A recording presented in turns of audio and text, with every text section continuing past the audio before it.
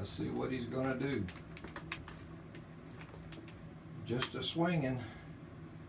Just a swinging. Yeah. Oh well. He's in my face right now, just enjoying all the food he wants out of my suet feeder. I think he's enjoying this little swing he's got set up here. I guess we're gonna have to go to Plan C and see what else I can do. Yep.